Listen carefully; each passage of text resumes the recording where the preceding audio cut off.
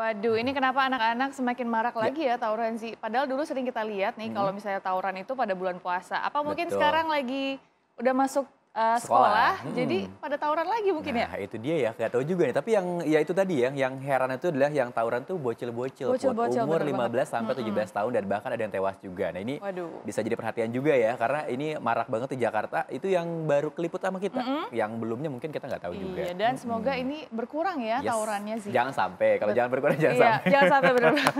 dan selanjutnya pemirsa ini hanya dalam dua jam 300 rumah di Jalan Simpruk Golf 2, Kebayoran Lama, Jakarta Selatan, ludes terbakar. Iya, tak ada korban jiwa maupun luka, namun seorang meninggal dunia karena syok. Nah, lantas apa sebab kebakaran itu? Berikut pemirsa liputannya.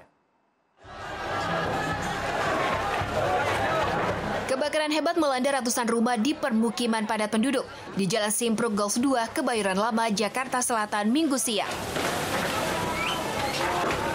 Api dengan cepat melalap seluruh bangunan rumah. Kencangnya tiupan angin membuat kobaran api kian besar. Api juga cepat merembet ke rumah warga lain lantaran banyak bangunan semi permanen yang terbuat dari kayu dan seng. Warga yang panik ramai-ramai melarikan diri sembari menyelamatkan barang-barang berharga milik mereka. Bukan cuma rumah, api juga menghanguskan bangunan sekolah, posyandu, dan musola.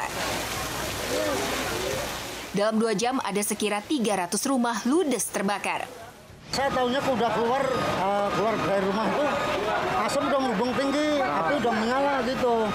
Begitu orang-orang pada ini warga pada bilang kebakaran, kebakaran, nah itu baru pada ini keluar semua dari rumah. Warga sekitar awalnya berupaya sendiri memadamkan api, tapi si jago merah terlanjur membesar.